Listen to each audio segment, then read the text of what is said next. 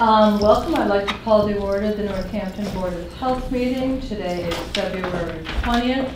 It is five oh four.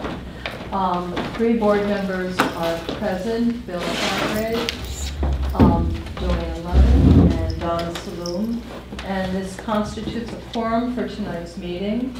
Uh, Board of Health members not pre- present are Cynthia Supos and Suzanne Smith. Uh, Just a reminder that this is a public meeting, it's being audio and video recorded. If you come before the board to speak because you have public comments session, um, please state your name and address for the record. Uh, The first item on today's agenda is review of the January 16th minutes. Has everybody had a chance to look at those? I saw one, one issue, and that was under the public health nurse.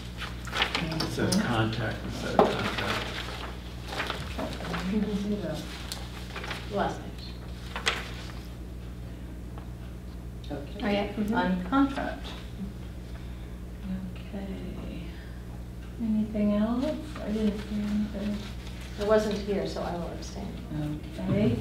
Um, then I would vote that we accept the minutes as, I don't think they we, can. we can't, we just two You'll have of to us? wait till next year. We will till wait next until month. next- month. Because you're abstaining because you weren't here, That's right, because there's only two of us. Yeah. It's not a quorum. Okay.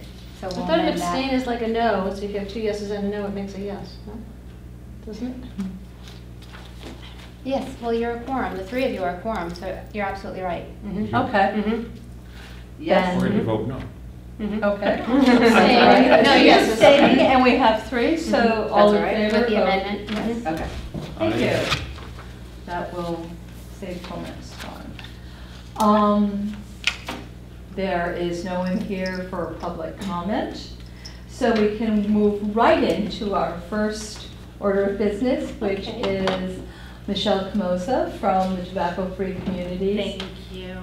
And we had asked Michelle here to talk about the work that she's doing around um, secondhand smoke in multiple family units. Now, I also took it that you want me to review all the programs? The programs Okay, great. And I, I'll try not to inundate you with too much material. Um, what I just passed out was the um, MTCP, which is the Massachusetts Tobacco Cessation and Prevention Program, uh, the five core strategies. We basically don't um, work on number four. We may offer some healthcare professionals some guidance, um, some directives, some literature, but boards of health might be more active in that. We work with strategy one, two, three, and five. So what I did was put together the strategies. The first one is offering uh, effective cessation resources for all of Massachusetts residents. So what I have here is, um, I have a community fact sheet, so this is the Northampton data, it's, it's very quick, uh, short rather. And there is not, um, I wanted to look for the youth smoking rate, but I could not find it quickly today. But the adult smoking rate in Northampton is higher than the state. The state smoking rate is 14.1, and I think the adult is 16 something. Did you see that there? Yeah. Okay. So what we do is let folks know that we're available for some cessation, a cessation program. The program is delivered in a PowerPoint fashion, and this is basically what the state has provided us with. I didn't bring a whole PowerPoint program for everybody, but we go through a PowerPoint program, and it coincides with this literature that's a handout and I'll pass them around. Basically, the, the program are tips and techniques for quitting. And it is not your typical cessation program that folks typically think of, where it's a six week, folks are coming back, or an eight week program. Um, it's basically a one shot, 45 minute program. We can come back again if there's new folks in a particular area. Currently, we're doing a train the trainer. Uh, for example, Community Action, which is a, a local um, social service agency, has um, contacted me or contracted with me to do cessation for their family support staff from for their WIC programs and Head Start programs. And I will be doing one at it's a school in Florence um, where the WIC staff meet. So once again, this program can be offered wherever groups of people are coming together, smokers, so it's delivered right to the smoker who would like to quit, or to support staff who are going into the families, into the household and working with staff. So that would be more of a train the trainer type model. So you can just look through that. And typically, we have um, some infographics. There's probably about 20, so we will put these up around the room. They basically go hand in hand with the local data um, and also about quitting. So there's these quick tips, and it goes once again with that booklet. And we'll put these around the room, and we also have little pocket versions of the same information.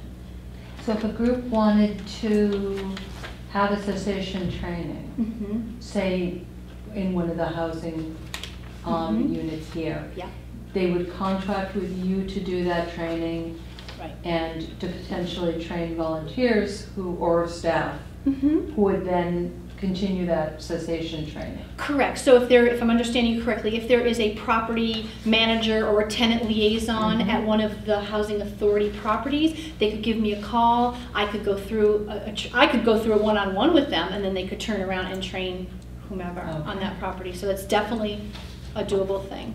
And materials are available, Through the Mass Clearinghouse, so, but I, I usually, yes, free of charge, and I order them and have ample supply, so that's never a worry.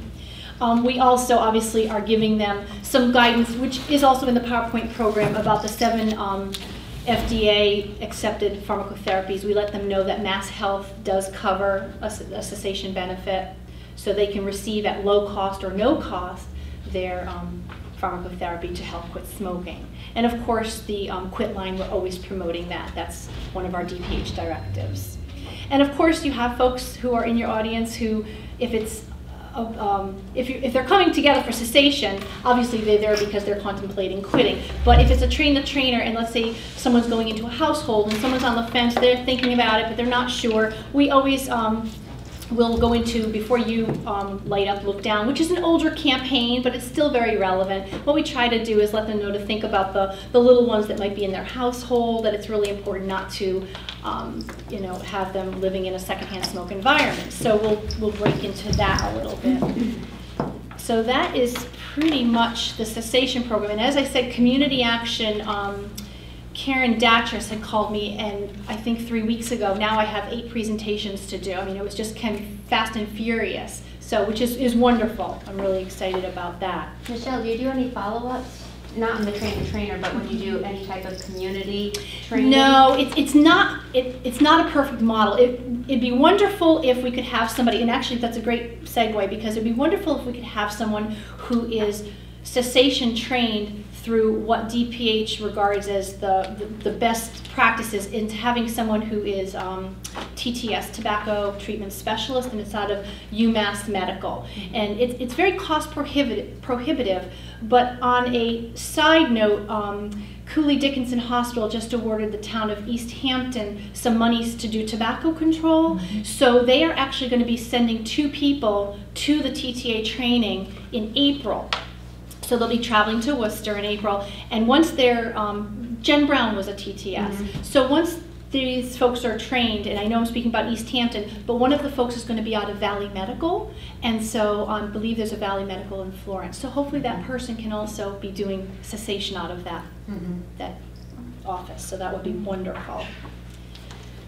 So the other program is um, strategies uh, protecting young people from the tobacco industry tactics, and basically that goes um, hand in hand with OTP, other tobacco products. And I'm not sure if you've had that presentation through Mary Kersel. Perhaps you have. I'm not sure, but um, package pricing and placement are what the tobacco industry really aims um, toward youth.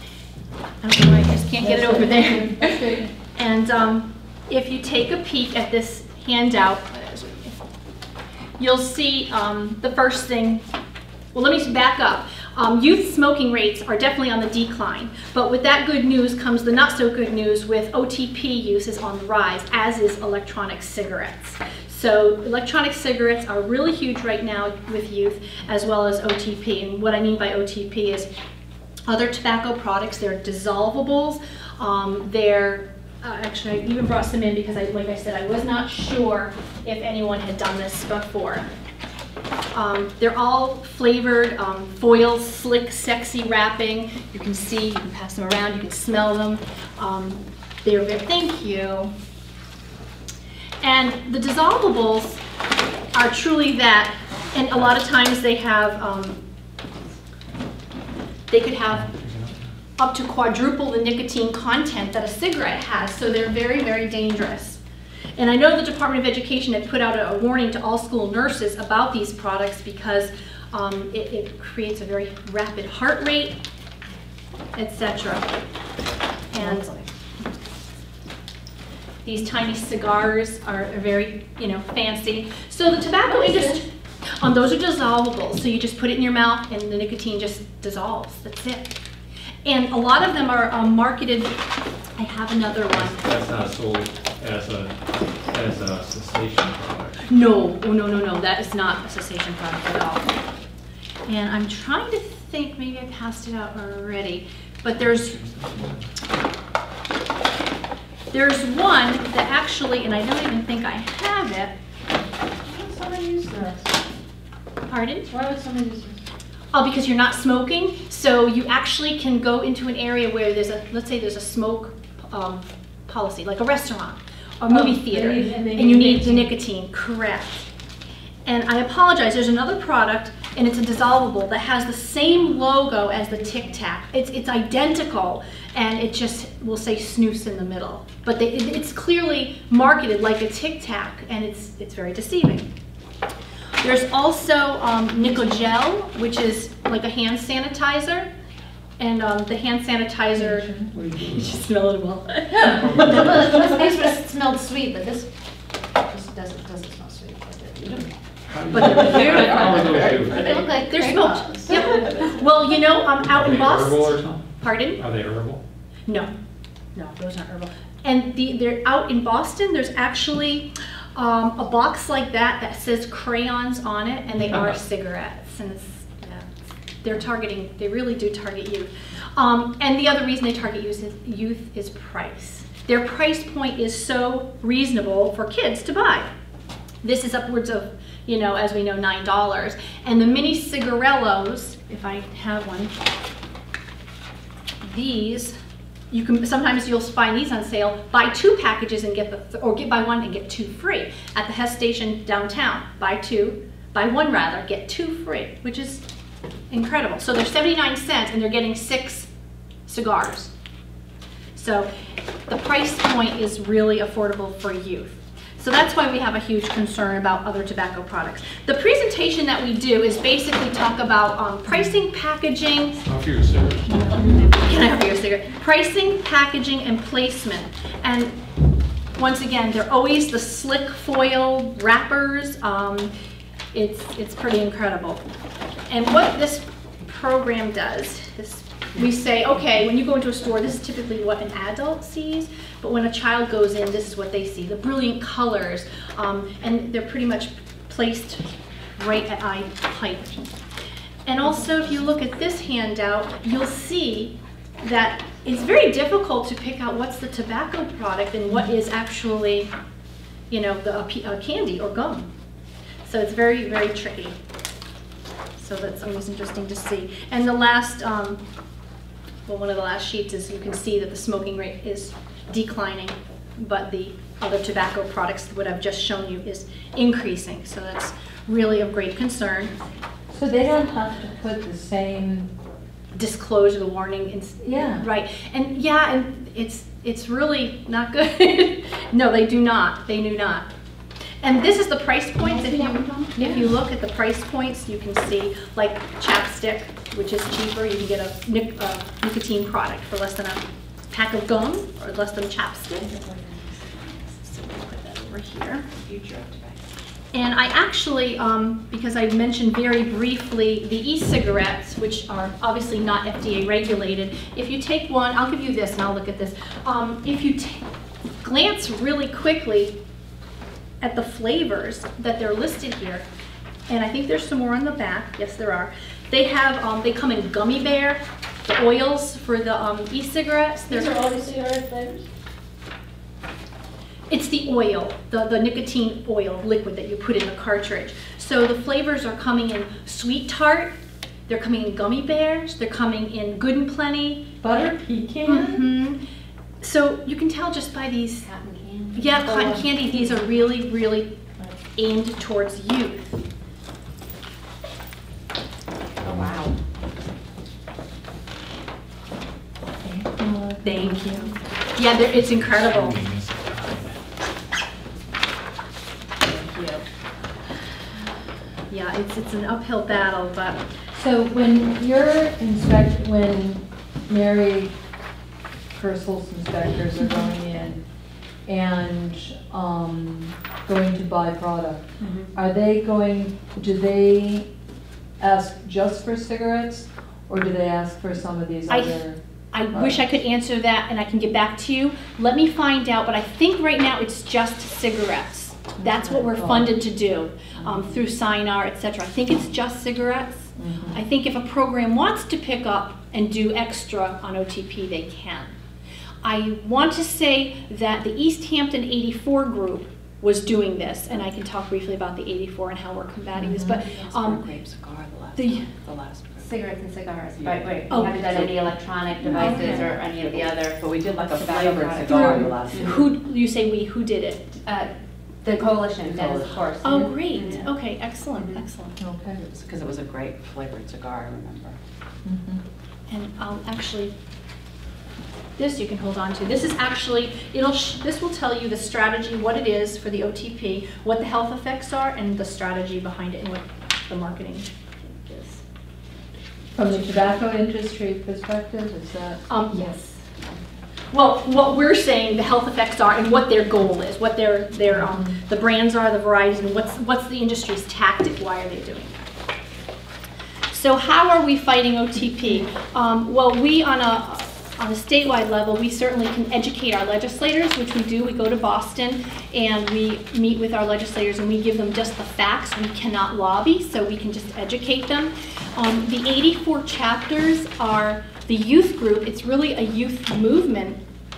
And thank goodness we have two right here in Northampton, which is just wonderful. Um, Smith Vocational and Agricultural School has been very active for the past four years, and Northampton High School just rejoined. So what this does is train youth um, to be advocates and to really fight for um, against the tobacco industry and how they're targeting youth, and they don't want to take it anymore, and they want to see an increase in tax on other tobacco products.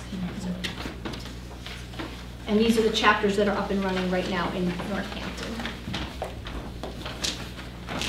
So we educate at the local level, and the 84 chapters are doing their community in their, their the work in their communities.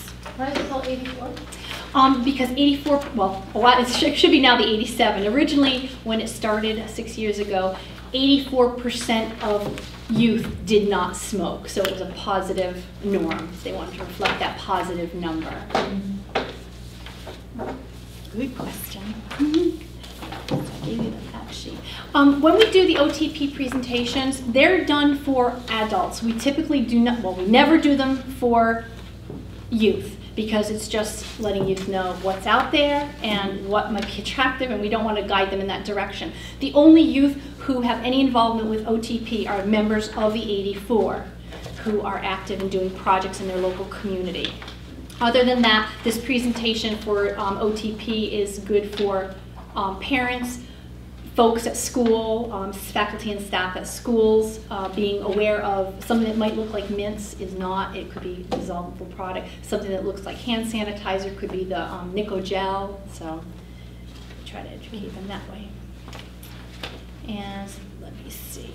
And smoke-free housing.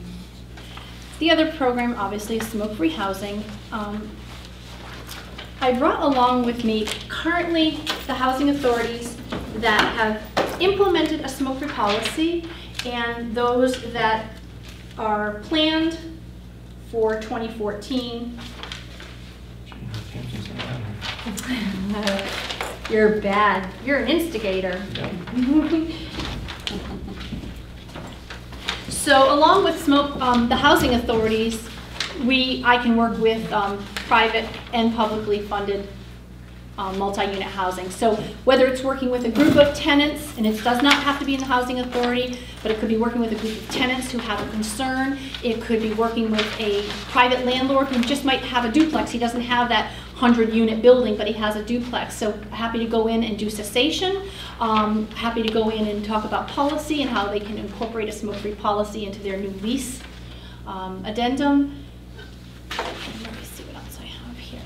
And currently, um, I've been approached by the Orange Housing Authority as well as the Hill Towns, um, Huntington, Worthington, Chester, Huntington, Worthington, there's one more, Cummington and Chester. The four of them, they're very small housing authorities, but they actually called me um, the beginning of this week and they're interested in going smoke-free. So I'll be offering them technical assistance on adopting a policy and but also educating the residents on what going smoke-free means and also offering, you know, cessation.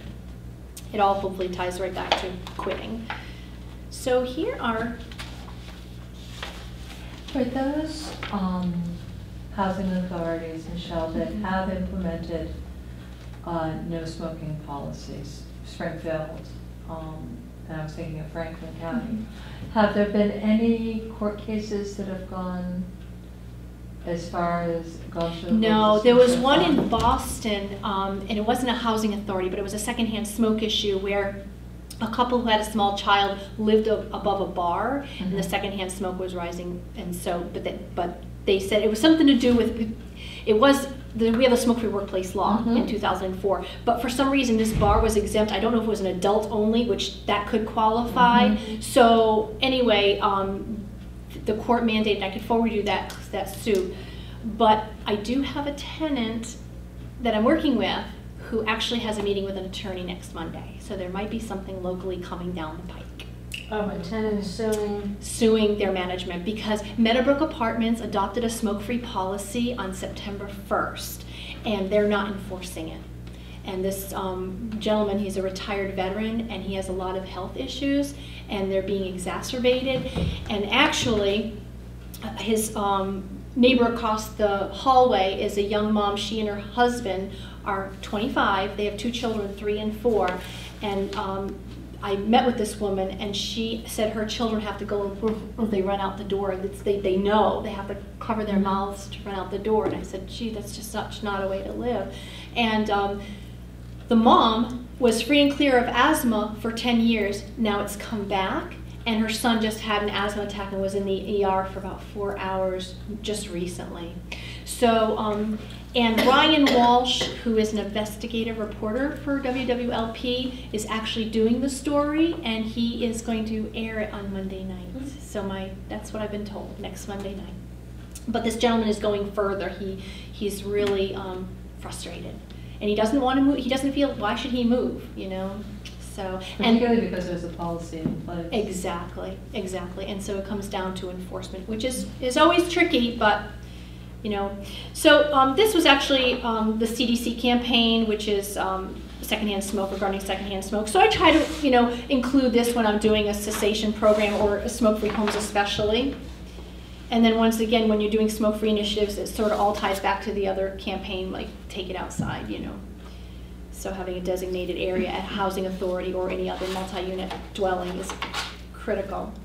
Is there any um, kind of data on how these housing authorities have implemented the smoke-free housing, whether it was grandfathering or? All of the Uh, above. Okay, It truly runs the gamut. I mean, but do we have that data somewhere? yeah, I could, I could call Chris or DJ Wilson because they may know, different people in different pockets, we work with different So Mhm. DJ Yeah. might have some information, Chris may have some, but I know that sometimes they'll just say, as the leases come due or renewed leases, we're gonna add an addendum and you're going to sign that, you Mhm. know, be smoke-free. Um, grandfathered in, when someone moves out or passes away, Mhm. then that unit will then be turned over to smoke-free, so Okay. there's really, and Amherst did it a different way because they just have a disclosure policy, which means they really didn't go smoke-free per se. They're just giving any new person coming into the housing authority, they're gonna give them a map of where the smoke-free units are and where they're smoking. So you'll know if your neighbor next door is a smoker or the person right above you or the person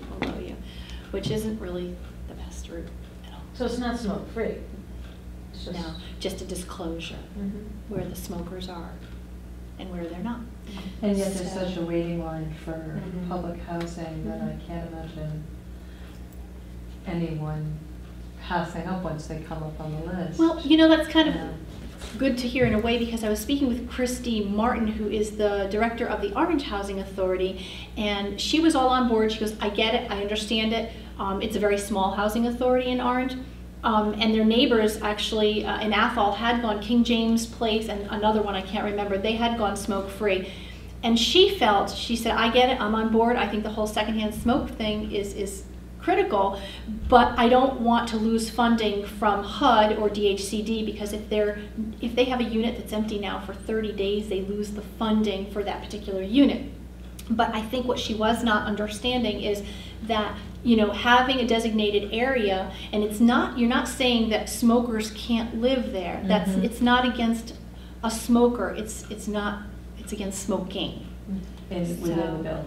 Right, right. So it's having a designated area outside. So I think that's where some of the confusion comes in. So I'm hoping, um, actually, the Board of Health in Orange, I'll be presenting to them because they want to take a look at this now. too. And where is DHCD at? I know. Yeah, DHCD, when I spoke to Chris Banthin, um, when you had actually Mhm. emailed me to ask the update, when I spoke with him about three weeks ago, he said it's, it's sort of at a standstill. Um, for the DHCD is um, Department of Housing and Community Development, and they are the state funding source for housing, and HUD, of course, is the um, federal. But both HUD is very supportive and very encouraging. They, I mean, they encourage uh, housing authorities to adopt a smoke-free policy. In fact, they have um, a formal toolkit to go smoke-free. We're hoping that the same would come out of DHCD. They've been very, very cool until very recently. I'm going to say till about this summer, July or August. They started to warm up um, between uh, DPH folks, but most importantly, Chris Banthin, which out of the Boston Public Health Advocacy Institute, he was meeting regularly with the folks in Boston, and they finally said, "Yeah, you know, I think we're going to go this way too," and they became very warm to the idea, and we were like, "Wow, this is awesome!" And they were going to mm-hmm. develop a toolkit as well. Mm-hmm. That's what I've heard, but I think the way the state moves is a little pokey. So I I, thought, you know, because I thought something was gonna happen in January. January, you're That right. the word. Yes, the word was January, they were going to have their materials ready, they were going to make a formal statement that they were going to encourage housing authorities to go smoke-free as well as have their toolkit ready. But when I spoke to Chris three weeks ago, he said, well, it's just at a standstill right now. So I didn't get details unfortunately. So I, I hope to do so soon. So as far as cessation is concerned, um, if you know of any organizations in your in this community that could benefit from this, um, happy to do so. The OTP is only for adults. Um, it could be done at a teacher in service or a faculty meeting. Have you had any requests from, um, our housing authority around doing cessation programs? I've offered, I've offered several times, but I have not. Because that initial meeting that we had, they had said anything that we could offer in terms of cessation, they would be very excited about. No. Or Did I miss? No, when we had the, um, the, the roundtable with the, the task force meeting, was I at that one? Is that what you're No, speaking this was a meeting Okay. before that Okay. with the Housing Authority Board. The board and, um, um, residents. Right. Mhm. So if I, if I had either Jon Hite or if I had a tenant liaison, say, you know, we have a group of people who's really considering quitting, would you come in? Mhm. I'm happy to do that. Mhm. And nighttime is not a problem. Yeah. Okay. Yeah, nighttime is not a problem. After we had our smoke-free housing forum, I know you had, there were several residents that were coming to you and looking for support and help. Did anything come out of that? Are they looking to have any type of? Actually, um, when we had that forum, there were about five folks who really got, uh, bless you, there were about five residents who really jumped on the bandwagon, wanted to know more information, and I keep in contact with them now. Mhm. Um, over the course of the summer, there was a little bit of unspent CDC money, and they allowed us to hire some resident champions um, as consultants. And so we did use them, and I think, Donna, we had a couple come to the Mhm. CDC site visit. But they've been doing just such amazing work. They did literature drops, they did um, one girl, one woman uh, at um, Walter Salvo House did a mini survey. I think she did, she only got about 20 surveys back, which is really nothing, a small amount, but uh, very supportive, and this is the way we want to go. Um, the, one of the gentlemen is at Meadowbrooks, and he's the one that's following up with a potential lawsuit because they adopted the policy and they're not following through. Um, and the other person that I work with is out of, um, not Walter Salvo, the other one. uh, McDonald House? Thank you, Mhm. McDonald House. So um, they've all just been very helpful in anything they can do and talking it up. Now, uh, the, the woman who is at Walter Salvo House said that they had a meeting, a resident meeting, three weeks ago, and they heard, the residents of Walter Salvo heard rumor that uh, the Tobin Manor was going to be implementing a smoke-free policy, and that now that all the residents at Walter Salvo was like, well, this is going to happen to us next. We really need to think about what we want to do, and it was brought up at their meeting. So I think it's it's on it's on the radar of the residents. I think they really do think this is going to be happening. Where's Tobin? Um, Tobin, I think, is in Florence, Tobin Manor. And my Yeah. But I'm understanding, I- positive. and I did talk to, um, the chair of the Housing Authority Board, and he did say that they were going, they were going to go smoke-free and that it had been approved Okay. for Tobin. So, That's that's great. That's great. I The wonder. entire property? oh, so they're not even going to have a designated area? um, I think they are going to have a designated Okay. area. Okay. Are there any recommendations on how to do that? Well, um, The Bud Hut. Yeah. I mean, The indoor building with ventilation or? I think everybody's bu- budget is so different. Typically, they're outside, they're not heated or any, or, you know, no, it's just an outside, either a park bench or a bus station type thing. So of course, inclement weather could be an issue, Mhm. but, no. Um, That's good, that's progress. That is progress, you're right, that is progress. My understanding was that um, one of the Housing Authority Board members was going around to each pol, uh, to each housing um, development or unit and talking with them about smoke-free policy. Mhm. Have you heard that that has happened? I have not. In fact, the only email I received was the one you probably saw, um, where everything was sort of at a standstill or slowing down because um, the newly, uh, is she new? Lynn? Lynn? Is her I name? think Correct, that's right, yeah. Yeah, She's one of the uh, board members for the Housing Mhm. Authority. okay. And she wanted to take it upon herself to do interviewing at every property. I don't know how many interviews, was she planning on interviewing everyone? I have no idea. I have not heard Okay. anything. And I- you- I have different- Anything, Michelle? I, um, No. Meredith? Okay. Now, is, do you anticipate another meeting of the task force? Just curious, I don't know. How was it left? She was gonna go do her interviews and That's then about where it give you a left. And that was back in November, October. A while ago. A long time ago. Yeah. Okay. It was left that she would attempt to do it.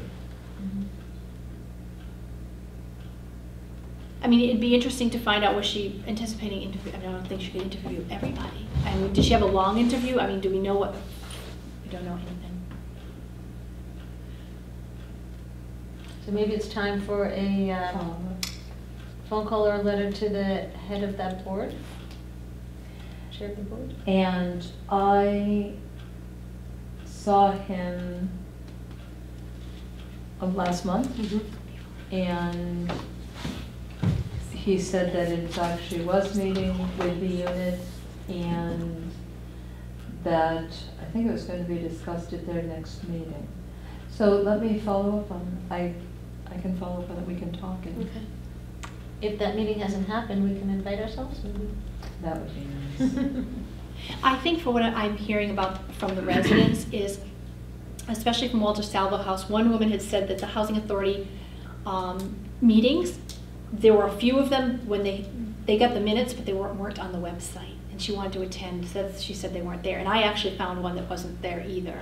So I'm not sure how diligent they are about putting their housing authority meetings on the, on the community calendar. So that was a concern raised to me, and I only, one time I did notice that, it- I said they met, and they had a meeting and it wasn't on the calendar. So it's hard for residents who want to be active and to attend and give their point of view if it's not there. And I think legally they have to post. Well, of course, yeah, of course. It could have, I, like I said, I only saw that once, Mhm. but I think residents would like to come to the meetings. Okay.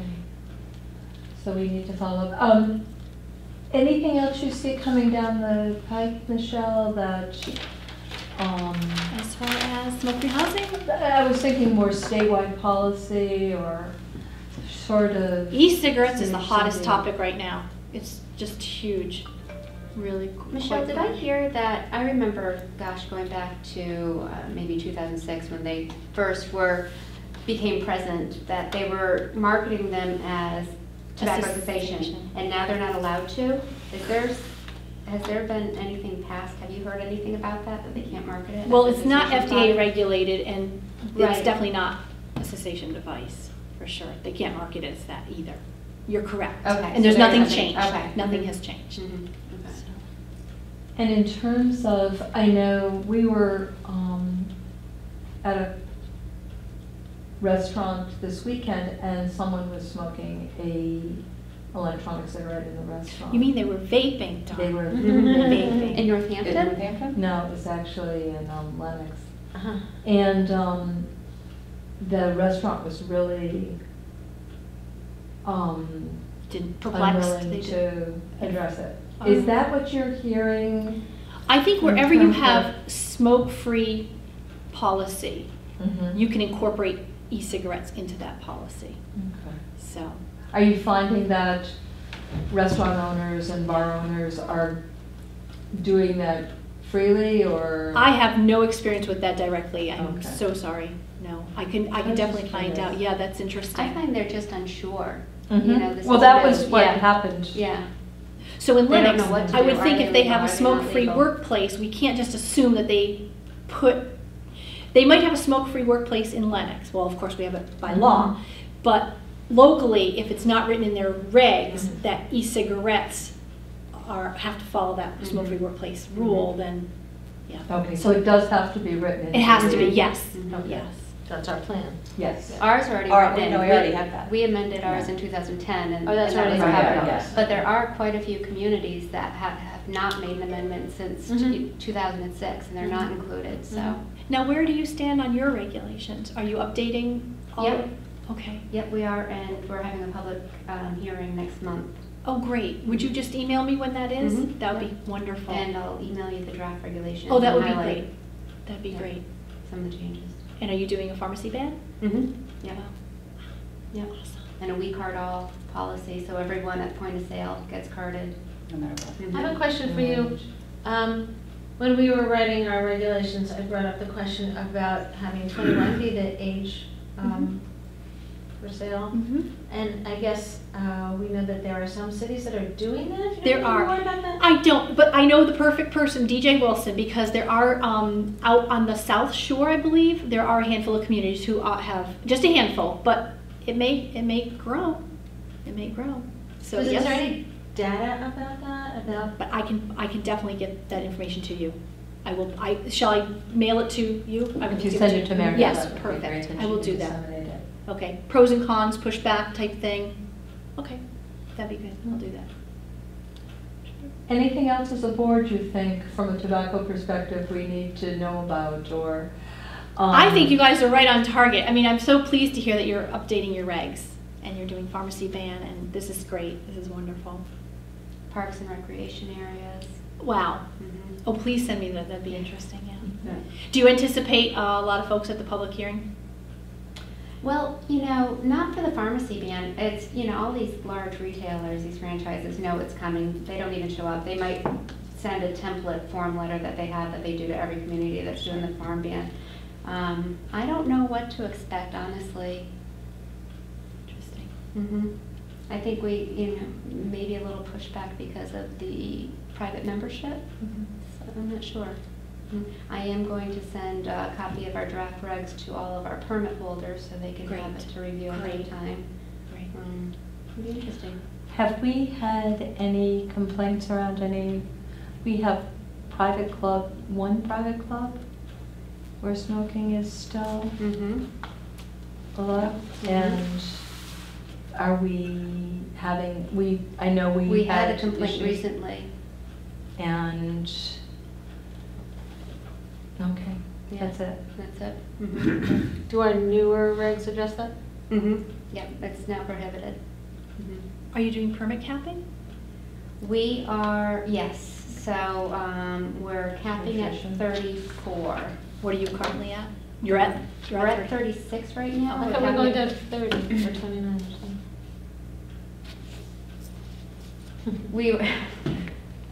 Hard to memorize all Yeah, those things. I I can't remember how we wrote it, but we are, we're Okay. putting a cap on it. Great, great. And do you currently have a permit fee? Great. Mhm. Yeah, good. That's good. I know Deerfield has zero, but they're going up to 100, so that's Oh, good. really? Yeah. We have two hundred dollars. Wow, good. Very good. Right. So I, if there's a meeting that I can come to for housing, whether it's that, that task force that was formed or, you know, any other housing meeting, please include me. And I will get in touch with um, DJ around 21, age 21. Thank you. Well, thank you, we appreciate you coming Liz, in. do you have any more of those um, brochures for smokers, like how to quit? Oh, I have a lot of them at my office. Well, how can I get them to you? Are you Uh, local? Yeah. Okay, I don't have a card, but. that's all right. um, Uh, How about if I, well, You wanna just drop them off at my office? I can do that. I can do Or do you that. want I them can just sooner? drop them off at my office. Oh, sure. Well, let me know. Well, I mean, Where's what's your your office? relationship with Cooley Dickinson and physicians? Well, not so much. not so much. But um, the only the only connection truly is the Cooley Dickinson Hospital grant right now, and it's not really with physicians. So I mean, it's just implementing because one of their strategies is um, smoke-free housing. So I'll be assisting That's them on through that. the Healthy Communities Committee, Subcommittee. And we had a series of small grants that, um, one of the things the community health assessment had really targeted was the high smoking rates in Easthampton. And, um, that that was a target community for those funds, so. That was through the, I think it was the end of the determination of needs money. I mean, I'm a doctor, I'm not a primary care doctor, Mhm. but, you know, I don't have any materials in my office. Okay. So Um, I would love to get you everything you need. So where's your address? Seventy-six A Carlon Drive, 76A. Spell Carlon. C A R L O N. Easy enough. It's near the fire station, but I'm just thinking as a Mhm. group or as a Mhm. hospital, I mean, there's, you know, hundreds of doctors Mhm. That should probably always have a supply of these things in their waiting And also promoting the quit line, letting them know if they have patients who are on mass health, that there's cessation available. Yep. And I have the referral forms too, because they could get two weeks of free NRT. Through, if they're doctor referred to the quit line, they can get two weeks of nicotine replacement therapy for free, so it's a savings. so, so the other place you could connect to is um, Cooley Dickinson PHO, Physician Hospital Organization, that sort of tries to promote wellness and it's the connection to the, all the doctors. And that's PHO? The Physician Hospital Organization. So five eight two two thousand is the main hospital line, and the person to contact is Sam Gladstone. He's the physician in charge of sort of communicating with all the docs. All right, and could you repeat the number one more time? Five eight two Mhm. two thousand is the main number, I don't know there. That's okay. And Awesome. Sam Gladstone's also on that Healthy Communities Committee, Great. so they'll be Okay, and 76A Carlon Drive, you said it's near the fire station? Mm-hmm. Okay, super.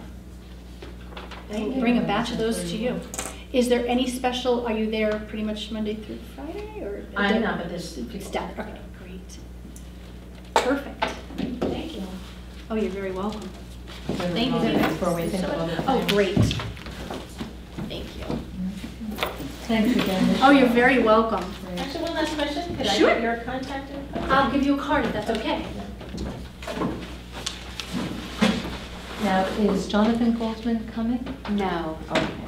so we'll just move on to department updates and we'll Thank you so have Bill much. give us Oh, an you're so update on the. GCP.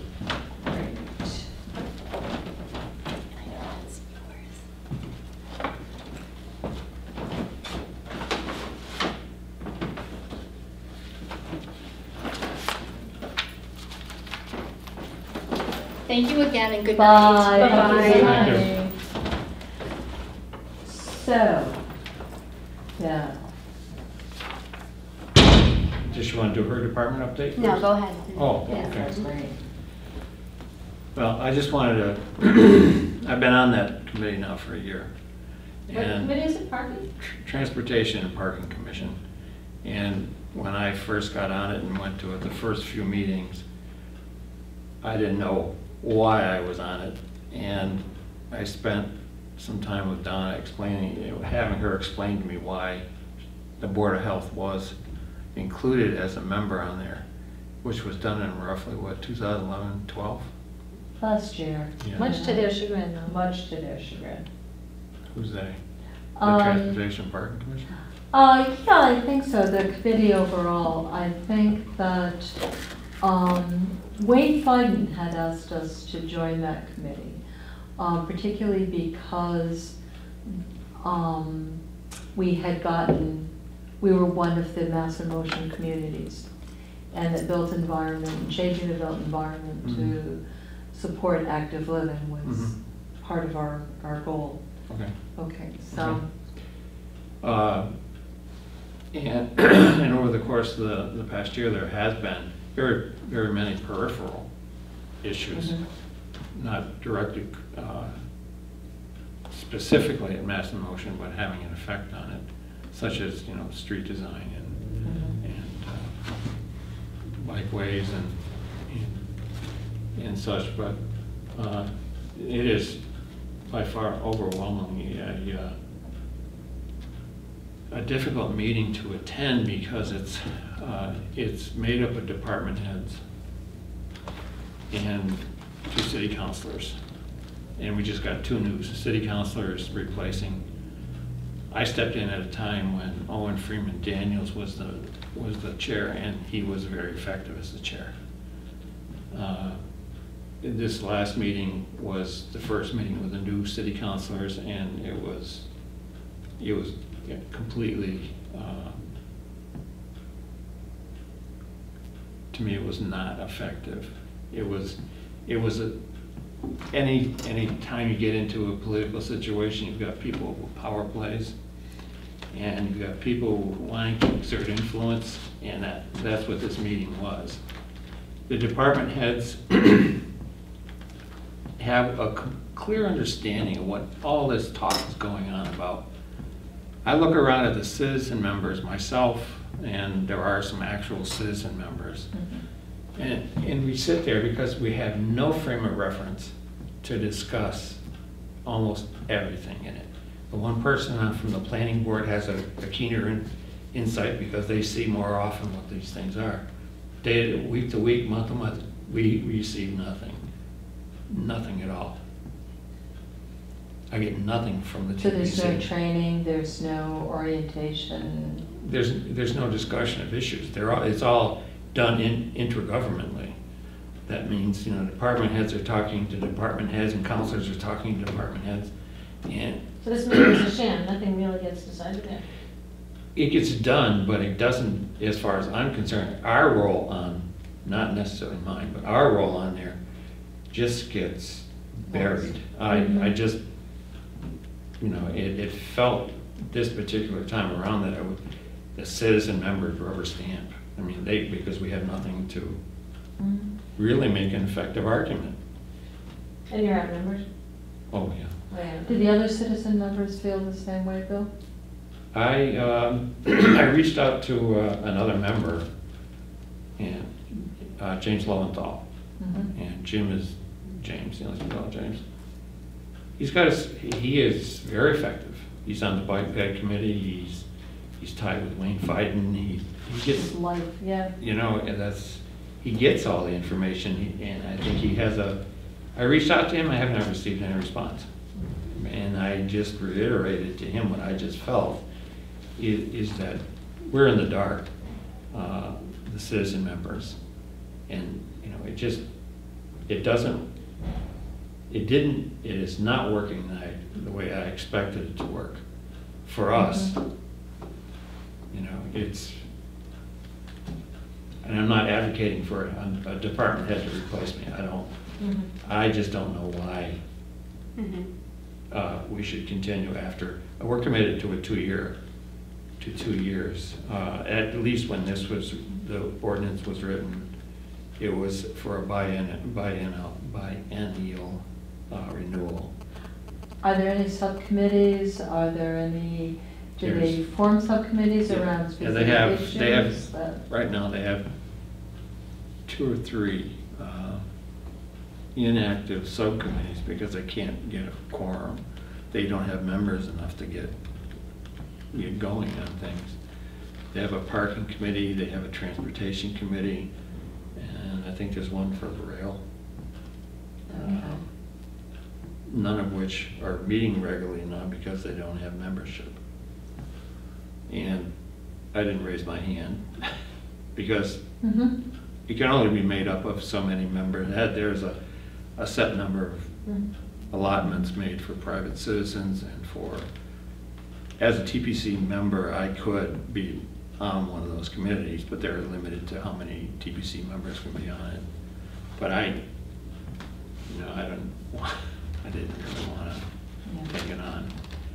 Um, Are there topics that are under discussion that you think we should be having influence on? Uh, There was, you know, there was a lot of, I mean, a lot of, the- like I said, these things are not met, they're, they're peripheral to Mass in Motion. For example, uh, um, the, the big topic of this meeting Tuesday night was car sharing. Which is a peripheral issue to mass, mass in motion, getting people out of cars, uh, or they're using Fewer cars, but cars they're. on the street, fewer- yeah. Fewer cars on the road, and, uh, it was Director Feiden's pet, pet, uh, project. And throwing together the new, one of the new city councilors who got into sort of a philosophical discussion about incentivizing multinational corporations and giving them money. and, uh, It was pretty- particularly frustrating. uh, When it came time, there was no voting on it, it was just a presentation as to where this thing was going. and You know, maybe that's probably why uh, James hasn't responded to me, because he was a very strong supporter of the car sharing program, because they have one at Smith Mhm. and he avails himself of it quite often, so. um, But I couldn't, in this particular case, I couldn't see the upside for the city because they were giving up parking spaces to the tune of roughly forty-five hundred dollars a year for space. That was the subsidization of the multinational, because Zipcar, Zipcar is one that Mm. was uh, bought out by, uh, was bought by Avis, so. What I'm getting to is, this meeting was particularly an- annoying. Over the past year, they haven't been as, quite as bad as this. But I, I just wanted to let everyone know that, and I'm, like I said, I'm not asking to jump away. Uh, I wouldn't rec, I wouldn't want anyone to volunteer for it. I just don't know that we need to be on it.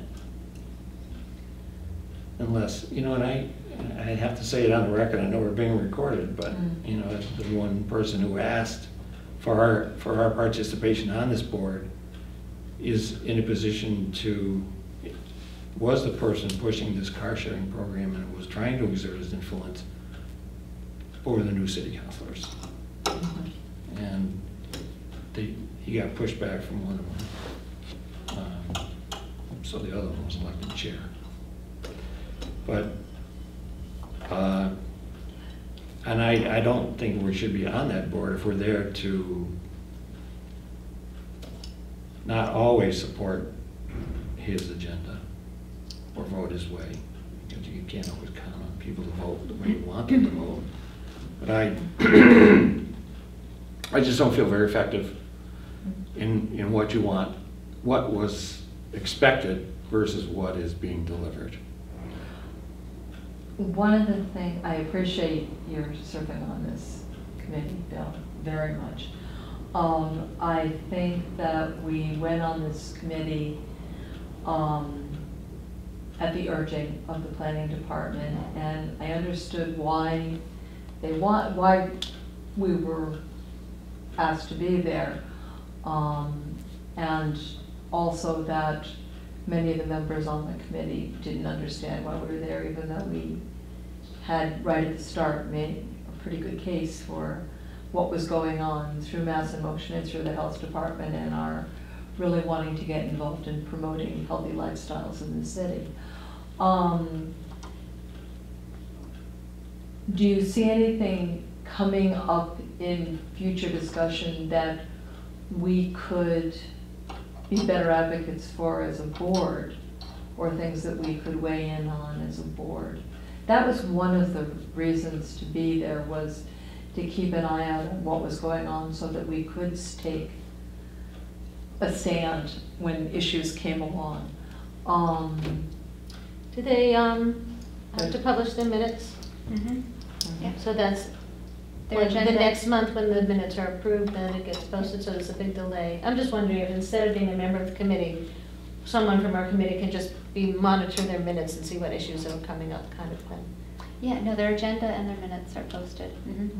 Usually about the same, within 48 hours Yeah. of, uh, and which doesn't give much time to do a lot of anything, because Right, right. Well, it'd all be There's after a, the there, like, there's a, this agenda item for car sharing.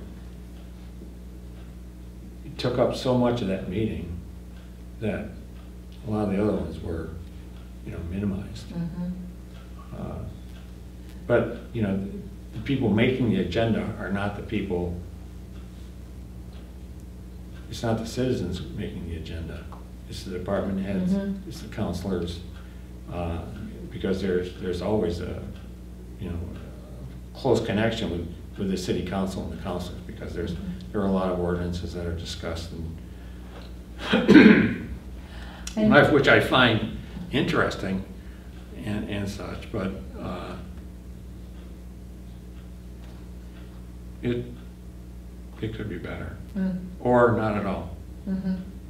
I know one of the issues that the um, Mass in Motion Initiative was really focused on is doing a, um, a walk audit out by um, the apartments on Damon Road. um, River, Me- uh, River River Run. Run. Mhm. River Run, and the lack of connectivity to the community in terms of there are no sidewalks, you've got the railroad trestle, you've got um, kids who go to Jackson Street School can't walk to school because there's no safe way to get there.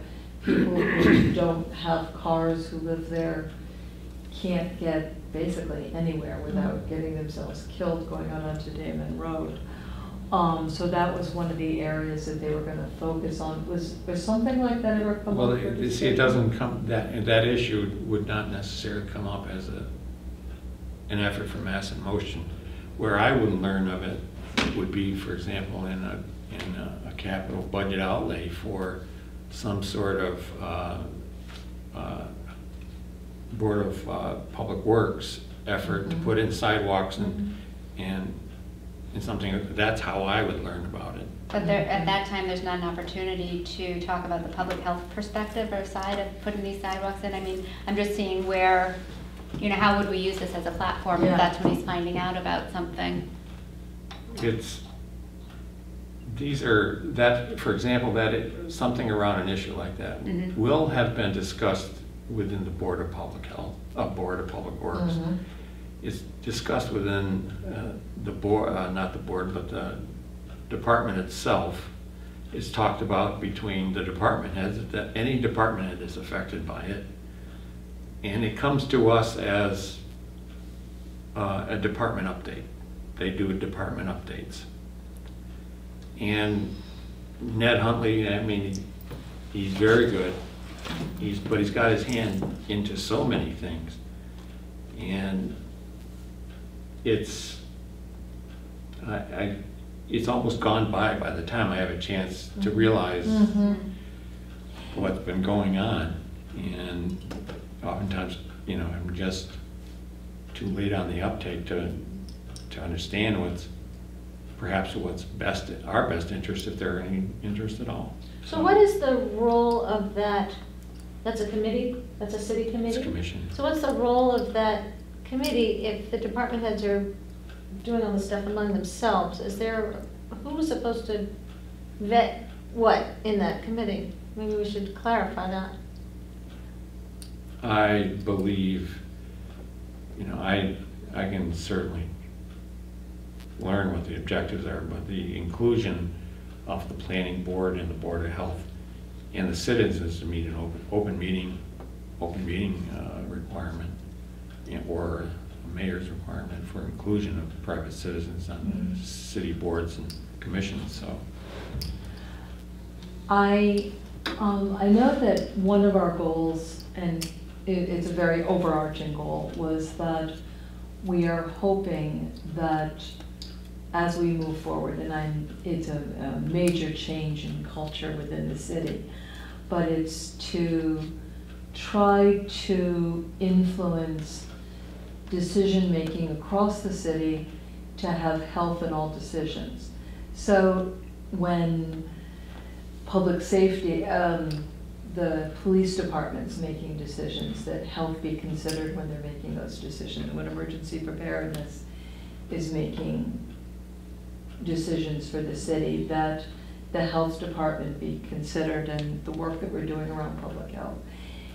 But it's, it's groundbreaking work. I mean, this is not the norm, it's not historically what's happened within the city.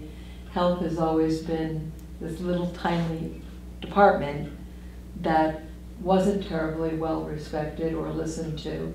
And we're trying to influence things that we never were able to influence. So when depart, when Public Works is prioritizing where they're going to spend their money, it's that we hope we'll have the ability to weigh in and say, it's very important that the sidewalks be a priority around the school so the kids can walk to school. Or it's a priority that our seniors be able to get to the grocery stores from senior housing or things like that. Mhm. But it, it's a real change. Um, I know we've made a commitment to be there, and if you're willing to be there, Bill, rather, um, if you could be our ears about things that we might be able to weigh in on. Um, you've invested this time in getting your, But as I and I said, it- understand the frustration, I understand. It is that completely. I might be presented with that information Tuesday. I never see it, and they want to vote on Tuesday Mhm. about, around something. And, you know, I could abstain, I could say no, but they're going to go ahead with it anyway. Mhm. That's the difficulty, is I don't have any, I don't have any of the information beforehand. uh, excuse me, to, to effectively vote on it. I mean, I, And the instance, real- the instance that you just gave there was, is clear. I mean, I Mhm. can, I can make comments, I can make and/or support things like that. That's, Mhm. that's pretty obvious, but that isn't a huge part of what they do. Uh, A huge part of what they do is, you know, not Other than James Lowenthal, are there other citizen members on that committee? Rich Cooper, uh, owner of Mhm. State Street. Yeah.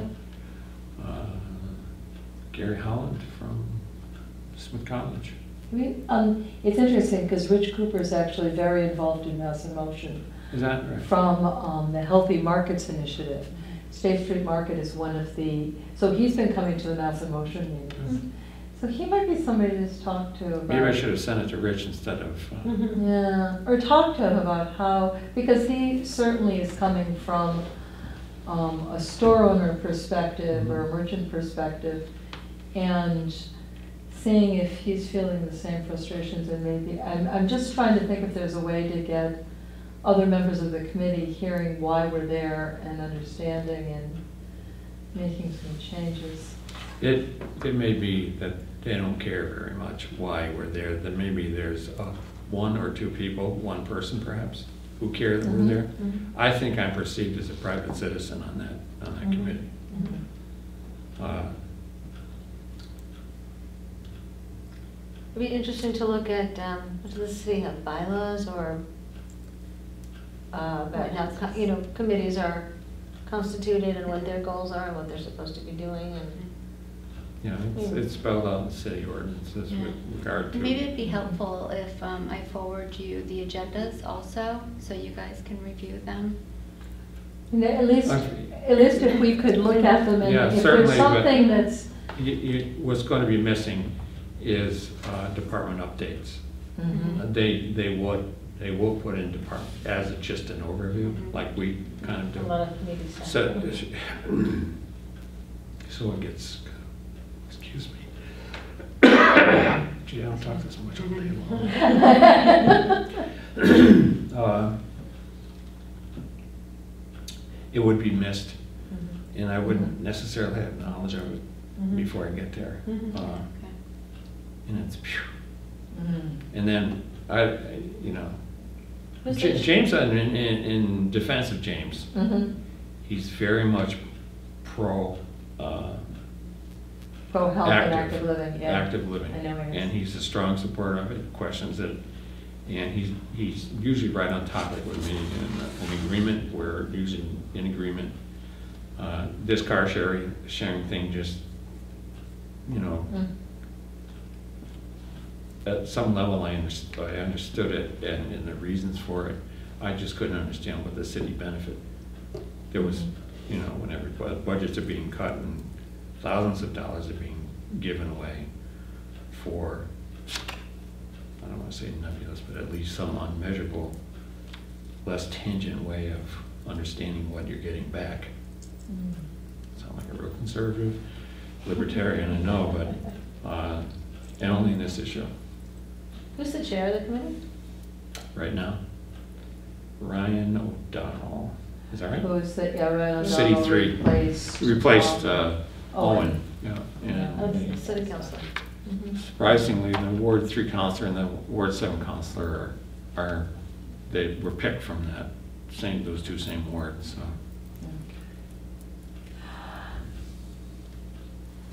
Are you willing to keep on? Oh, yeah, I'll- Okay, I'll, I'm committed to it. for a I'm not, bit? I'm not crying here. I'm Let's just see, saying- no, no. I, I just, it was particularly frustrating this last meeting, you know? Yep. so.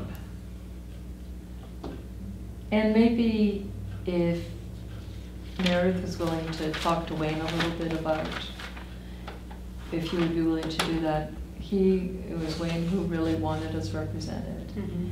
And maybe a way that we can more effectively weigh in and be aware of, he certainly knows what the agendas are, and as a city, as a department manager, maybe he can give us a heads up if there's going to be something that we can provide some support for. I, I would, I would minimize, minimize my contact with Wayne. Personally, my contact. I don't mind if you, I want to talk to him about giving us a heads up as to some way we can, we as a board, not necessarily Mhm. me, because I'm Mhm. afraid he's gonna say Mhm. something to Meredith that, well, the guy's gonna have to speak up if he's gonna have to be heard. And Mhm. and, and the fact is, there's too many other people, you know, jockeying for time to talk. Mostly the department heads talk, city councilors talk, and James and a few others, and it- it's, it's not, well, And you don't know the issue, you don't know the, all the Yeah. details of the issue. you know, it's, right now, the, the commission's in flux because of the new members. And because of the new members, meaning the councilors, they're trying to get on board with things and then people come with agendas and other people have agendas and sometimes the message gets lost in the fight, so Mhm. it's fun to watch sometimes, but it wasn't this time. Mm. It wasn't this time. Anyway, I just wanted, I mean, if, I feel, do you feel I should be giving everyone more information from these meetings? Because, I think unless there is something that we can act on, it's frustrating to you know, we spent some, you and I spent some time discussing Mhm. those things that you just mentioned, so I, I understand why I'm there. I know you do, yeah. And I support, um, you know, for example, there's a major redesign coming for, and time-wise, it's probably years in, in advance, but there's, there's been a lot of uh, redesign planned for um, the Academy of Music intersection. That is going to be uh, for, and you have to take in consideration the bikes and the sidewalks and, and uh, uh, cutting down the crosswalk distances Mhm. and all those kinds of things. That, I know that relates to what, Mhm. What we support, so that I- I'm comfortable with that, and, and that was enjoyable, you know? Um, But, you know, when it comes down to some of the planning issues, I mean, I guess I'm just not that kind of forward thinker, uh, as good as I am as a task oriented. I'm a taught, my whole life I've been Mhm. task oriented, and it's difficult for me to, to gather in, uh, you know, Wayne Feiden has so much information. And So the much planning world information. has its own language too, Planning, you say? planning. Yes, it does. Planning has its own They language. do talk in, sometimes in language I just don't. Yes. I, I know people who've They're been on the big, big fans of planning board using and said they- acronyms of, Mhm, of, mhm. you know, OTF, uh, OTB, and, and I'm going, you know, it doesn't mean something off-track betting. And it- I, I don't want to slow down the meeting with, you know, asking, you know, questions like that. You know, what do you mean? I asked once what a slip lane was, Mhm. when they were talking about a roundabout. Mm. And not that I was embarrassed by asking the question, but the reaction was, uh, why, you know, doesn't everybody know what a slip lane is? Well, what is a slip lane? Well, it's a slip lane and. Okay. A slip lane is when, when people are in a roundabout. Yeah, There's another lane on the side for people who just want to go. right. Right. The outer lane. We don't An have outer that lane. in ours though, right? Uh, it, it was discussed for the one that's gonna go Oh, the in newer Conz one. Street, but Okay. I think they're not gonna have it. Okay, that's interesting. Learn something new. Thanks. Well, we thank you, and we do feel your pain. All right, it's not pain. It's Well, not I- altogether pain. Mm-hmm. It's- Hopefully, they'll come up with some topics for discussion that are ones we can Yeah. I just have to, some, I don't have to, I'm gonna have to be more patient with people, I guess. and- I think I would also say that particularly since there are new councilors on the committee, who are new councilors to the city, that if there's something you don't know, they probably don't know it either. I know. So, And that's- The difficulty, and the difficulty there is they think they know. I mean, they're Yeah. asking questions like, what's a slip lane? I think you should feel bad about asking questions like that. When Mm. I spent a year there and we've, that commission has been there a long time, and when the councilor starts saying things like, uh, maybe we should revisit our, our laws and our bylaws and starting to change this and that, you know, it just strikes me as, you know, just talking to be heard. I mean, just talk to assert something Mhm. that, one, I'm smart, and one, you gotta listen, and one, I'm a chair, or I'm the co-chair, whatever. And you just get something. Okay, Okay. I wanna, you know. Feel better now? Yeah, I do. I do, I don't. I don't drink anymore. This was good. All right, I'll take over then with the rest of the departmental updates. Lisa's not here today, um, she couldn't make it because of medical reasons, so she'll, I'll have her come in and introduce her next month. Who is she? Great. Lisa Steinbacher, new public health nurse. Yay! That- Yes, yeah, Saw she the name on the started, website. yep, started Yes. last week, so Yay. all is good. And I think I'm the one. she's dedicated to Northampton, just not Sharon. Just Northampton, thirty hours Northampton, yep, Excellent. yep. And she is one very enthusiastic young lady. Yeah, she's very nice. Not, well, she's not that, she's not a new grad. Mhm. Right, exactly. Someone with That's lots of RN experience for- in the community. Yeah. And let her tell you her background. So. There you go. Moving on, um, the first report that you have is our 2013, it's calendar year 2013 operational report. I supplied you the same report for last year. And what I did is I kind of gave you a comparative by using 2012 numbers for permits and for revenue so you can see where we were last year to compare to where we, excuse me, two years ago to where we were last year. And uh, the number of inspections and complaints and complaint inspections that we've done. So our revenue has increased by about ten thousand dollars or so. Four thousand of it's due to vaccine reimbursement. Um, the other, uh, large stream comes from our food service and our retail permits, um, because we're now charging by per square footage as we were allowed to, but have never done in the past for retail permits. And for, um, our food service, it's based off, there's a base fee plus an occupancy fee on top of that, how many people you seat. So we're now instituting those charges. But that's what the staff has been busy doing.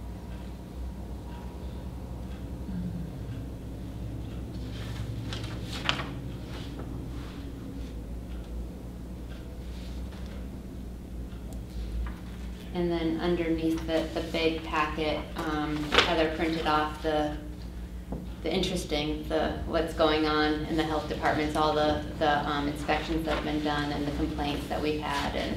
Well, This is our favorite It's good reading, document. yeah. mhm, That's the, all the complaints for 2013, so. Oh, wow. Mhm. Good timing. mhm.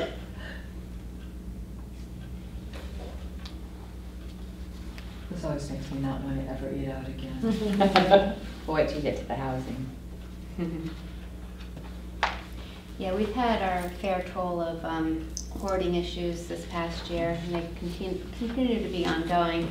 So we're gonna try to break down our um, houses and nuisance complaints even further, um, so we know exactly what's going on when it comes to our nuisance complaints or our housing. Is it, you know, excessive clutter, or is it, you know, whatever, different types of violations? Just so we can have a better synopsis at the end of the year.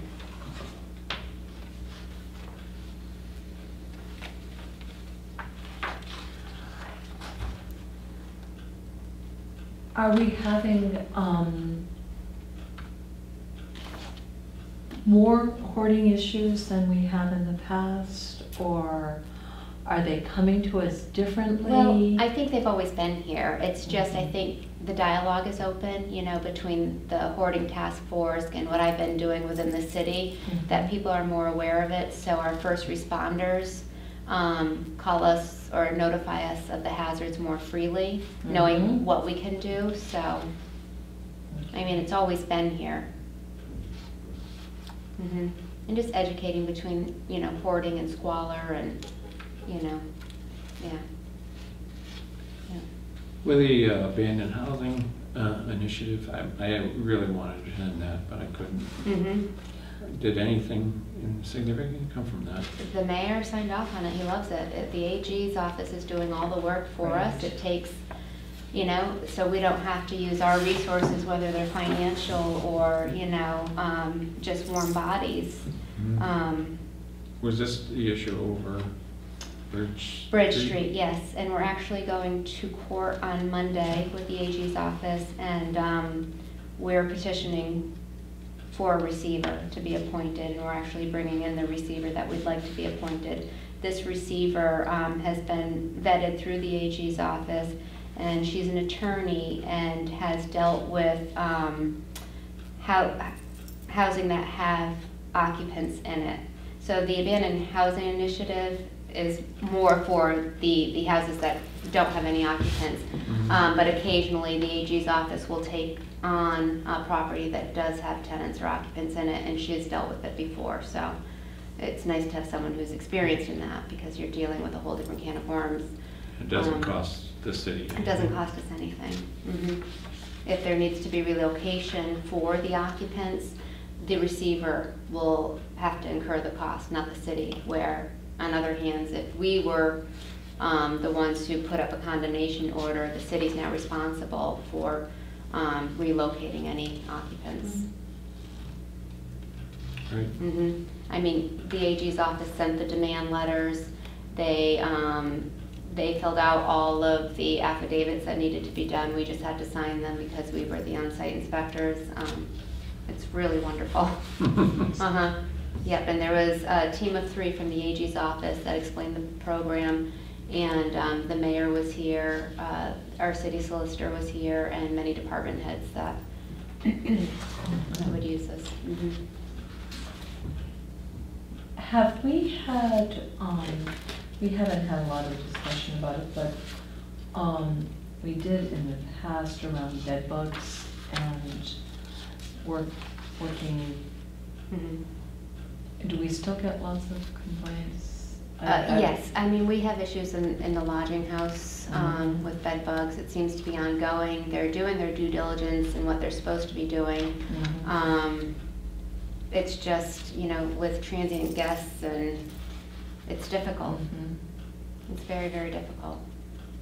We do have, you know, the occasional occupant who won't, you know, remove or secure their belongings properly. And so uh, even if you treat the room, it's not gonna do any good in the long run if you're not treating, um, yeah, their, their belongings.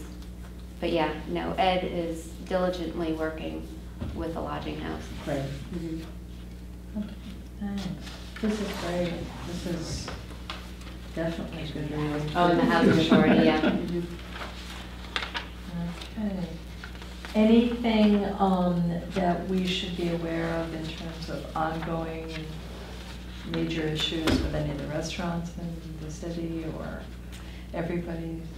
Besides the fact that the um, um, Spoleto Group hasn't sent in their paperwork for their 2014 FSE permits, I know, they're the only ones left. Mhm. And I made a phone call and left a voicemail on Claudio's cell phone, and he never returned my phone call either, so we're gonna have to do something about that. And what, are- what do our rules say, that they have certain amount We of gave time? them a cease and desist letter, so now we need to either enact on that, you know, that means putting up uh, signs on Mama Iguana and um, Pizza Paradiso and Spoletos. I mean, I don't know what else we can do besides emails, multiple emails, letters, and, Wa- uh, Was phone anything calls. sent as a registered letter to me, so know, so we know that it? oh, yeah. that it was, So we know they got it. Mhm. And it's, there's a fee that comes back with that and we just, It's, it's nominal, It's it's a min- it's a twenty-five nominal dollars, fee. yeah, yeah. Should be twenty-five dollars a day. boy, that would be a shocker, wouldn't Mhm. it? Mm-hmm. Yeah. It will get resolved. Do you have any clue why? If there's a particular? Well, for, they're habitual, they do this every year. Every year. hmm but they have tax issues and, um, financial problems, I mean, And just Mostly I have think it's gotten just away with it habitual. for, a yeah, gotten away with it for a very long Mhm. time. mhm, mhm. All right. but we're coming But into we March assume and it they're will operating without a license, which is unacceptable. So you gave them a cease and desist and Mhm. didn't give them a, a date when you're gonna lock the door? No, we're still trying to resolve it, so, but, I mean, I mean, I could, I- yeah, these are iconic restaurants here in the city and, you know, Right. I just don't want to slap a, a closed sign on their doors, you know, but he's, without even him returning phone calls. It's tough. Mhm. That's the only issue when it comes to restaurants. Is there a date set? amongst The cease and desist was immediately, I mean, I could have done it the following day Oh, so that it's he like- it's received out it. there? It's out there, I just haven't pursued it. Mhm. Well, Don't know how to address that one. Uh, Communicable disease report? So the first report is um, what comes out of Maven, so this is um, what the state, Mhm. the information they send down to us. Um, And again, I'm putting it in a format where you can um, look at the trends here in Northampton, what we're seeing. Mhm. Eventually, I'm gonna go back when I have time even further. I think 2009 is when Northampton got on Maven. Um, But it, definitely looking at the trends and where we're going is interesting. Well, the pertussis is certainly. Oh, yeah. mhm.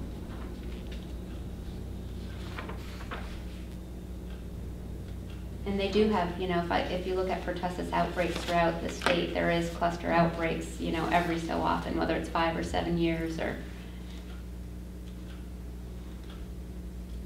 Is, should we be doing more around Lyme disease Absolutely. and tick-borne There's new, I mean, yeah, absolutely. I think that's what we're really gonna push on this Mhm. year. Um, There's all sorts of reports about new diseases emerging in this area from, Yeah, from ticks.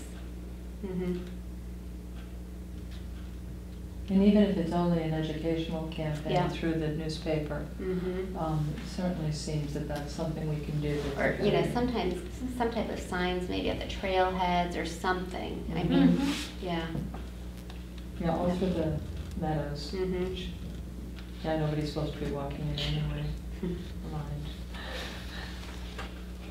Can, uh, Mass in Motion contribute to that issue? On Lyme disease? No, I know, walking in the meadows, open meadows. Oh. Another committee, does that count? Meadows Um, Committee? Meadows issue?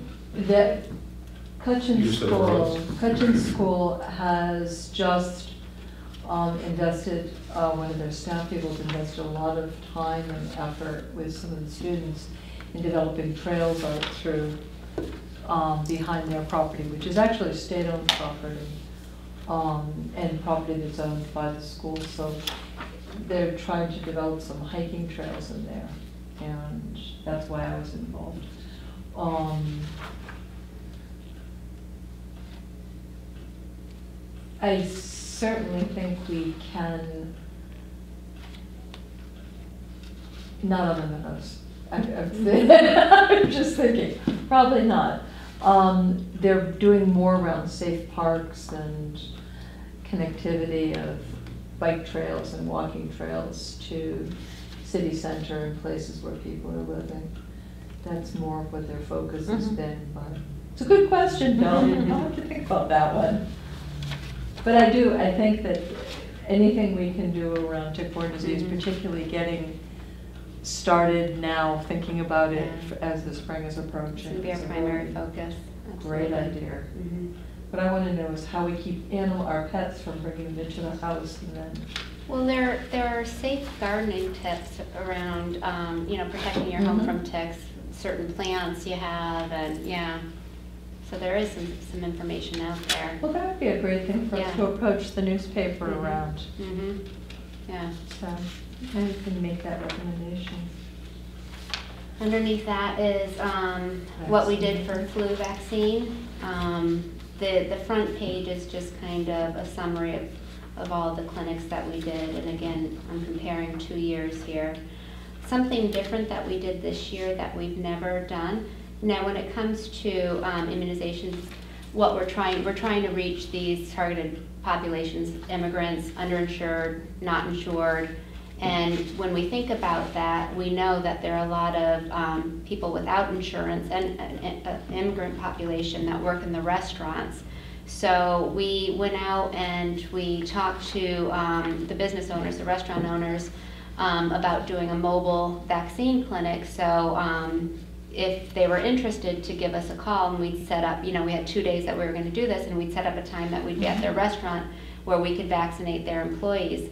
And it was pretty successful. Um, we did 51 altogether. Um, Paradise Copies was included in it too, um, Mhm. because we made all we made all of our copies there. And they're like, "Oh, this is interesting. Can we do it here?" So we included them. But outside of that, we did 41 employees in the restaurants, and it was um, really welcomed. And they'd ask if we could do it again next year, and maybe do it earlier, because this was kind of an after the fact when we did this. Mhm. And Jennifer just walked the streets with her bag and went into the restaurants and did the vaccinations. It's great. Yeah, so that was wonderful. And the district attorney's office, we also um, did a clinic in their office this year, and they've asked us to come back next year, and they'd like to bring um, their other offices down, their employees from their other offices, so we could Super, vaccinate them. that's great. So our numbers are a little lower this year than they were last year, but without a public health nurse, it was really hard to do our mini clinics as we've done in the past. You did an incredible job Mhm. considering the staffing. In the senior center, we had almost thirty more. That's Mhm. great. Yep. Yep, and I like to see our um, police department and fire department employees growing too. That's important. Great. Okay. Are we still sitting on a large amount of? We're not. We're not. A vaccine? Yeah, so I transferred um, a lot of vaccine in when we were doing the clinic in Southampton because they don't have a provider number, so they can't get vaccine. And um, there, the clinic wasn't large there at all, so I was left with a lot of vaccine. And at this point, Jennifer was gone and it was already late in the season and everybody pretty much who wanted to be vaccinated was. So I couldn't get rid of it. I put out a mass email to all of the public health departments and a lot of people were sitting on vaccine. But um, last week, Lisa called Holyoke Area Pediatrics. She called all the pediatricians around to see if they needed vaccine. Holyoke Area Pediatrics took a, took 30 of our doses, and then Elm Street Medical Center here in Hamp took, I think, 20 or 30 of our doses. So we have about 40 left that we're gonna probably end up eating and getting a little slap on the wrist, but that's fine. They'll understand. Good. Mhm. The next report is our um, fiscal year 2015 budget that I've submitted to the mayor. And nothing, I mean, um, nothing really stands out. I mean, we have our public health nurse now at 30 hours, so there'll be an increase in the salaries in the PNS. Um, the O and M has pretty much stayed the same, but what's, what's, I mean, important is our budget is increasing by twenty-seven percent from the fiscal year prior to this year coming up, if it's approved. So we're slowly, you know, Great. yeah, making some headway. How were you able to do that? I thought the mayor had asked for a flat, um, budget. Just because we've taken on a thirty-hour, um, a week position for a public health nurse. And that's approved, money that's been Mhm, approved. mhm, right? mhm. Yeah. Great. Yay. And then underneath that is um, the narrative that I submitted to the mayor. It talks about our 2014 accomplishments and our goals for 2015, just kind of the highlights. Because his plan is to post this on the website, so he doesn't want anything of great detail. Mhm. So it talks about the charter change, expanding our board, um, working on the tobacco regulations. Quarantine. Mhm. Is there a formal hoarding team, or is it you just No. kind of bring together whoever's appropriate based on? It's just, um, it's, it's, someone in the police department's been trained or has had some training with hoarding in the fire department, um, the building, so it's just kind of making sure we're all on the same page and having, um, kind of like a matrix built. And it's not only just intercity, it's also knowing who has experience with doing cleanouts, if a cleanout has to be done, having them part of this matrix, someone, um, a contact from, um, ServiceNet, a contact, I mean, just having all of this in place and making sure we're on the same page. So we've been putting the pieces together over the past year and, Now, this is something we haven't talked about in a long time, but it's identifying private wells in the city. And so yes. that is going to be a focus. That's great. Mhm, mhm. We're hoping to get an intern to help with this. Did we have one once? We had one. I wasn't here, um, Ben had someone who. We had, we had a couple of, we had a couple of students that came in and started to go out with GPS locators to, to try and pinpoint. Um, and so what we would sort of build on what was already started. But more, I think, um, I think more of a focus on just making sure that we know what addresses those wells are. Mhm. So that we can, so we can add, because I mean, the, maybe not so much with the G, the technology stuff. Mostly, mostly just so that we can, we can link parcels to wells so that we can, you know, Meredith can craft and and Ju can craft better policy, because we have no policy right now Mhm. on, on wells And or well water for. And what is it, there's a term that's used for grease in the, in the. Fog. Fog. That's that's what it. oils and grease? Yeah. Yes, fog. Mhm. Thank you. Mhm. Fog. Yeah, all the fun stuff, wells and fogs, right? There's a new um, plumbing inspector in the building department. He's probably been there maybe three months now. He's very interested Neat. in creating a fog ordinance too, so. Yeah, he's been really great. mhm, He's been very helpful. Great. He used to work in the Board of Health Department in South Hadley, so he is, yes. Yes, uh, Sharon conditioned him very well on looking at a public health perspective and making sure that the information, you know, there's continuity between the two departments, yeah. Wow. Very nice. This looks great. And we would all like to increase clerk position to thirty hours. Mhm. And is that moving somewhere, anywhere?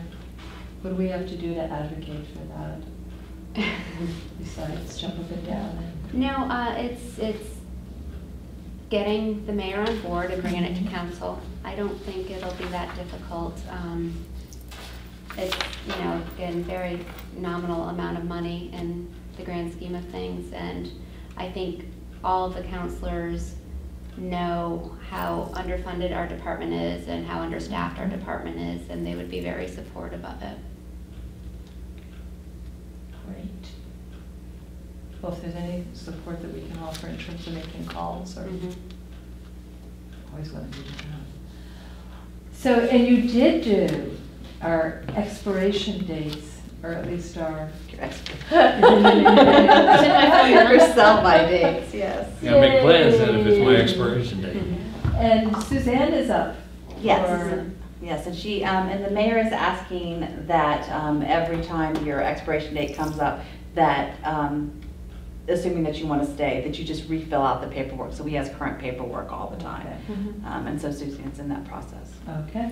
So, um, if someone wants to renew, they fill out the paperwork and then have, they have to be approved by the mayor again? Yes, yes, but it's, it's just then? pretty much a stamp at this Mhm. point, yeah. And the mayor's office is on top of it, I mean, it's an automatic trigger, so you'll get the Okay. paperwork ahead. Mhm.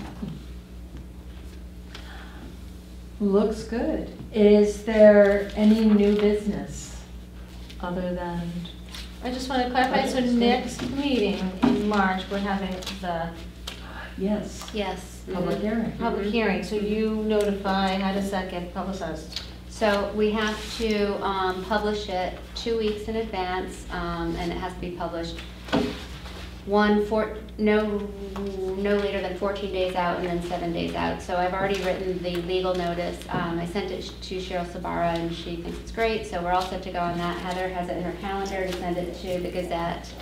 Um, I had, Cheryl is in the process of reviewing, um, our regulations. I just want to make sure if anything Mhm. needs to be cleaned up. I just want her to sign off on them.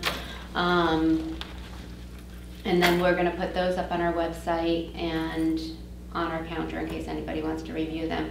And again, I am gonna send them all to our merchants who hold a uh, tobacco permit from us, so.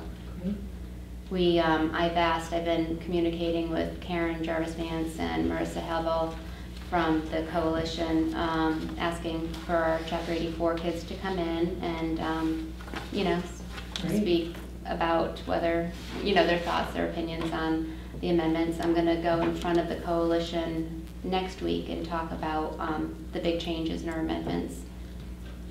And hopefully get some support from them. Again, I don't know what to expect for opposition, so I just thought it'd be better to have some people who do support it here too, that can speak up, especially the children, because that's who we're really looking out for. Mhm. Mhm. Great. And then the plan is to have the, the board meeting following the hearing.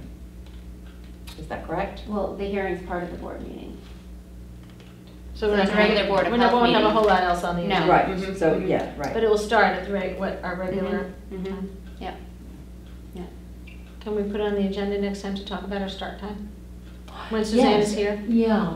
Um, Suzanne said, I think that that's a great idea. There, we were, there was some discussion earlier about moving our meeting back to five thirty. because it's so difficult to, I know for Suzanne to get here, and I know it's hard for Joanne to get here for, and sometimes it's hard for me too. Um, Just gives us a little wiggle room. yeah, would you be any, would that work for you? No problem. Okay. I know it's harder for you folks just making it a later night. Uh, Half an hour is not Okay. any big difference. All right. Um, Are we gonna cut it short by a half an hour or